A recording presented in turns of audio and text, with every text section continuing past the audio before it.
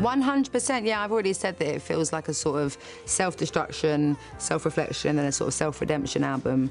Um, I think it probably goes back to um, me saying like I had to address a lot of things in my life.